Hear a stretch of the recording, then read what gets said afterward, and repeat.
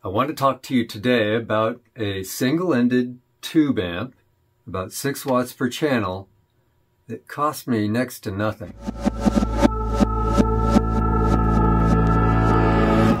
Hello, welcome to Lancaster Hi-Fi. For this video, I thought it would be interesting to show a console amp from console to shelf top from being integrated in a console to being a standalone amplifier, in this case an integrated amp. Back on April 1st, 2022, I bought this Westinghouse console. I can't remember whether it worked or not. Maybe. I can't remember how much I paid for it.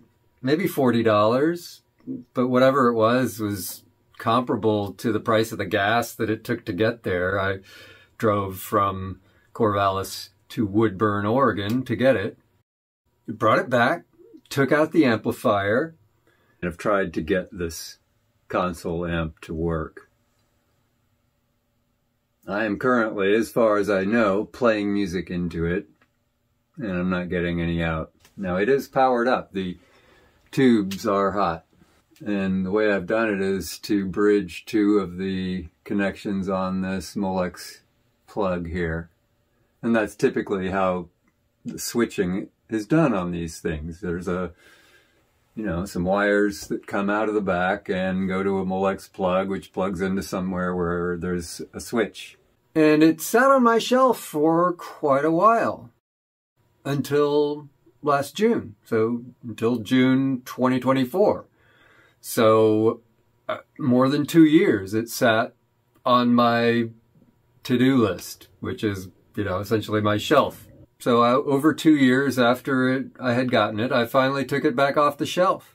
I wanted to build at least one tube amp last summer. Turned out that's the only one that I built. And it was the one that required the least work. I'm working on this Westinghouse console amp. And I want to get it just working in stock condition. Minimal interference rehabilitation at this point. The power switch would have gone uh, through cables to this hole, through this hole to a power switch. So I've just bypassed that by connecting this to this black wire here. So that should give me high voltage. Uh, here we've got the rectifier, the secondary coming into the rectifier and the high voltage coming off. Uh, drops through this resistor here, which is like 220 ohms about. Doesn't it go first to a capacitor? Yeah, go to a capacitor, resistor, capacitor, and then that's the plate voltage. Here the lines go to the output transformers. And then uh, come back over here. Blah, We can see the, the filament supplies. Uh, this is done I would say quite sloppily. The only one that's mildly twisted, the only pair that's mildly twisted is this pair going to the rectifier. The rest are just forming big old loops all over the place, which is just going to be radiating all sorts of AC at 60 hertz, so that's kind of shitty. Those, those need to be twisted even if I keep it in relatively stock circuit configuration. Let's see, the main capacitors in here are you're not super far out of spec. They're supposed to be 40, 40, 30, 30, and it's more like, you know, 56, 46, 33, and 33. So the 30s aren't too bad. That 40 is not too bad. The first 40 is pretty bad. That'll still function well enough in the very short term, even though that overcapacitance indicates that those are leaking. What are really bad are these blocking capacitors uh, coupling capacitors, this one, this one, this one, and this one. And those are all way out of spec. They're all way over the spec capacitance, which means likely that they are leaking DC and um, may cause red plating if I simply turn it on even. Not that I noticed red plating when I have turned it on just once, but those should be replaced straight away, and I can do that. That's no problem. 22 nanofarads and 47 nanofarads. Easy peasy. Trying to track down the problem in this amplifier. Disconnected feedback or put the feedback resistors to ground. And now we're looking at the plates out of the second tube in the amp. Now the signal at the grid on that bad channel isn't so great either. See the B channel is looking just peachy.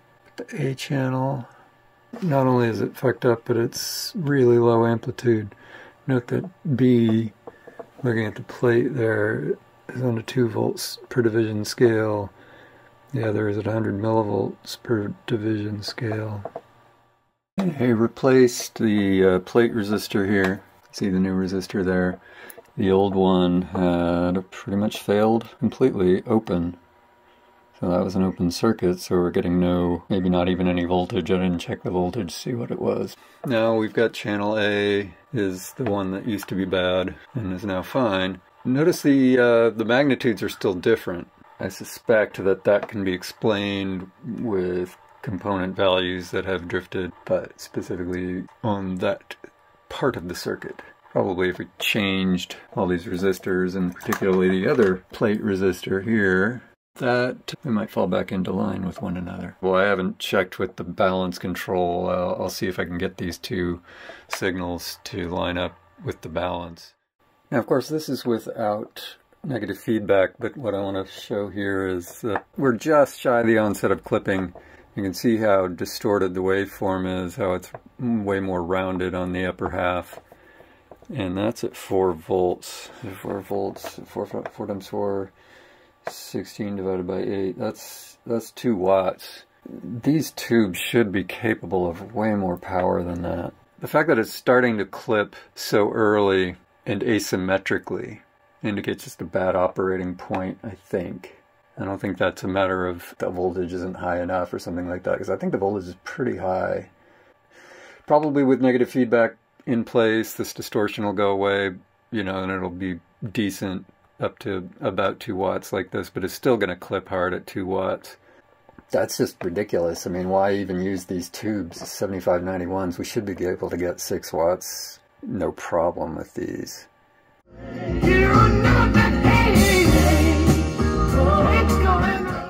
This is wild.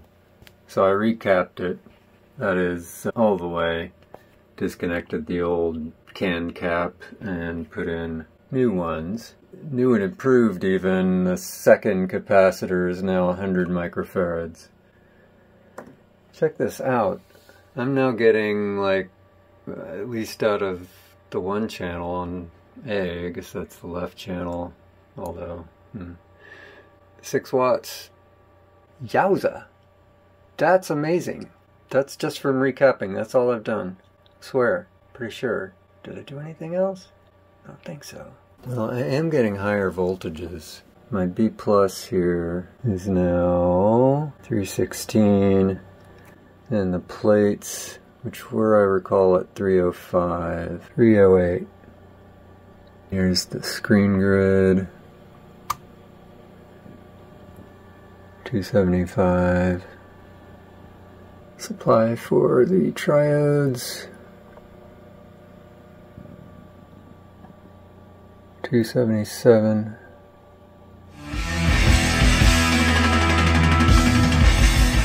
I kept the original circuit. I kept the original transformers. Original output transformers. Original power transformer. Kept the original tubes. Just a couple of 12AX7s and then the two 7591s and a 6CA4 rectifier there on the end. Gotta add an on-off switch. I just happen to have such a thing. Has the same values of the pots and an on-off switch integral to it. Yeehaw. Let's turn it on. There is still an ever so slight hum, but that's from the transformer. There's no noise that I can hear from the speakers. So it was those filament wires. I'll show you what I did. See those beautifully twisted yellow and green wires? That is the way filament wiring is supposed to be done.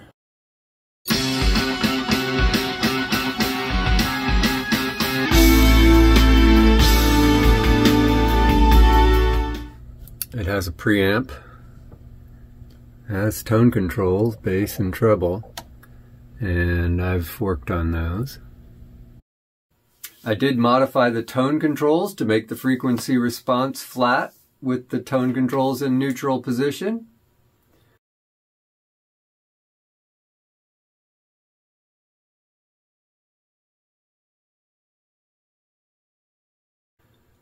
And it sounds really nice. I'm really pleased with the result. Fixing the tone controls. Old frequency response, new frequency response.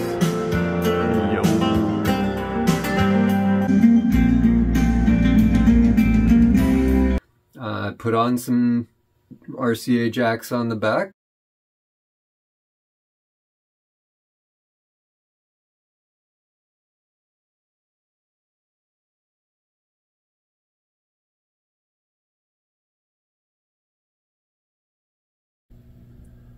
Balance, volume, and it can take two sources, either mono or stereo. I'm using the original speaker terminals right now. You know, I might replace those at some point, but just didn't feel the need at, at this time. The major piece of work for it was making the solid cherry pieces that adorn it.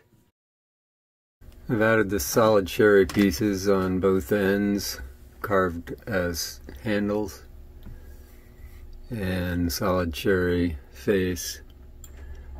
This one's bolted in. The side pieces I glued on with contact cement. The inlay is magnetite sand you know, I had to work on all the mounting and whatnot, hardware and so on. It was a little bit complicated.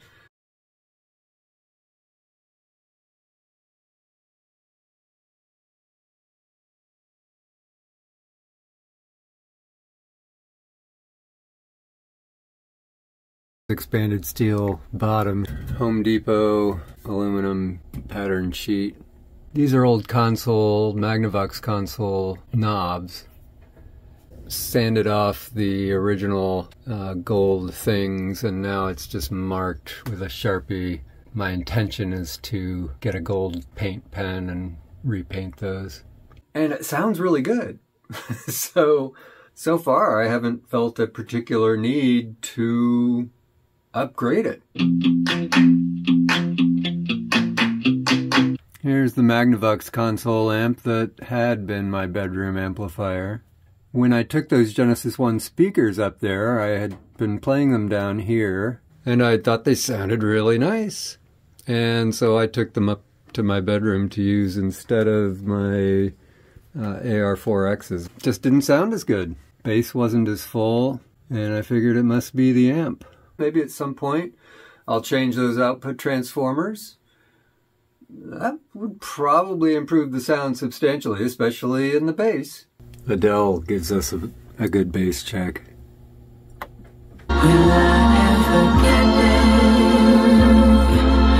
that track is so bass heavy that you could hear the bass breaking up a little bit on that really deep spot. That is if you're using some headphones or earbuds that have good bass. Or, hey, speakers from your TV system, whatever. That issue with bass would need to be solved by larger output transformers. So, you know, as a console amp, it's limited. But literally, really, the only expense, you know, is just the random components, which are all pretty cheap. The high voltage capacitor is the most expensive of those. And of course, the labor. I didn't buy the cherry, I carved it and cut it myself. It's from a cherry tree in my backyard. So for me, the cost was negligible, except for all the labor to make it, which was substantial. Of course, it's all hand done. Well, I hope you enjoyed this reconstruction video. I suppose you could call it a restoration video. I know that the footage that I have doesn't cover every aspect of what I did to this amplifier, so I've tried to walk you through what I did as best I can at this point. Because I'm not taking it back off the shelf and taking it apart just to show you the insides again, and so sorry for that. You know, it's funny, I get I read all the comments that I get on these videos, and occasionally I'll get a comment that essentially says, you should have made the video this way, or you should have done that. You should take these measurements. You should do that. And I'm like, well, but I didn't. Uh, I don't have that equipment. Want to buy me that equipment?